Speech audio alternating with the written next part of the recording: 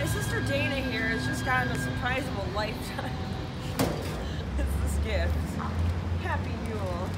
Thank you. Climb on in here. If I break this.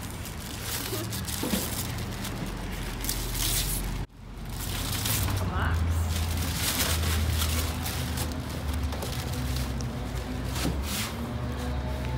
Suspense is killing you.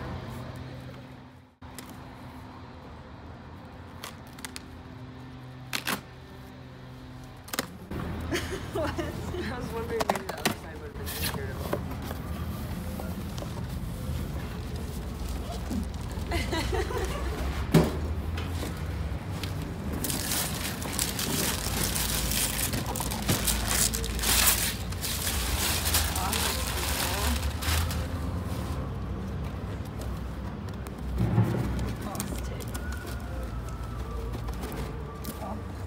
I it a lot. Gift giving is a heathen tradition. Oh, jeez. We're getting somewhere now. Yeah.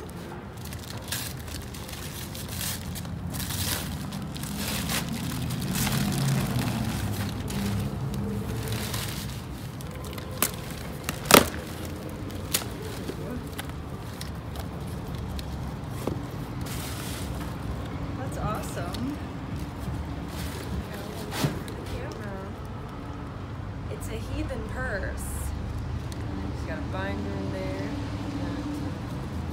What is that? It's a bindrune. A bindrune? It means more than one rune combined. So they're bound. Oh, then you got the Volk yes. She was just asking about today. I really like triangles. Thor's hammer. There's Thor. And this is a symbol uh, so you don't get lost. The Vegvísir. Be like, like a compass almost? Yes. So, there's another cross. Oh, yeah. This is called a Yule trap, where you open a gift and there's a gift and then a gift and a gift. So it's an old English tradition, last few centuries. Oh.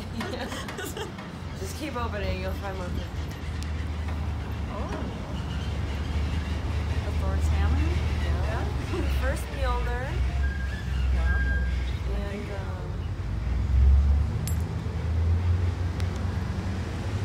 Burke made that.